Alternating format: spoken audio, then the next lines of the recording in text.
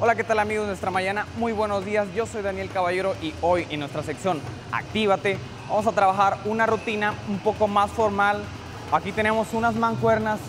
Señor, amigas que nos ven en casa, si en el dado caso nosotros no tenemos mancuernas, podemos utilizar botellas de agua de 600 mililitros para sobrecargar un poco y agregarle carga a los músculos. Ok amigos, nuestro primer ejercicio será para fortalecer nuestros brazos. Recordemos que no aumentamos masa muscular, simplemente fortalecemos nuestros músculos para que tengan un poco de más firmeza, ¿ok? Vamos a empezar a estirar nuestros brazos adecuadamente, acerca de las piernas, subimos, estiramos lentamente. En el dado caso también podemos trabajarlos las dos al mismo tiempo. Este ejercicio lo reservaremos por 30 segundos. Nuestro segundo ejercicio será laterales para hombros para que fortalezcamos también nuestros hombros, ¿sí?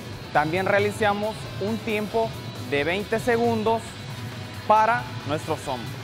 Nuestro, nuestro tercer ejercicio, amigos, va a ser la parte de las piernas.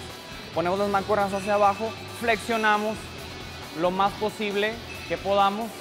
Es importante, amigos que nos ven en casa, mantener la posición adecuada de la espalda, ya que en ella evitamos lesiones y cuando entramos a un gimnasio se nos hace más fácil realizar nuestros ejercicios y evitar una lesión. Nuestro, nuestro cuarto ejercicio será un ejercicio de desplantes para nuestras piernas y la parte trasera del femoral.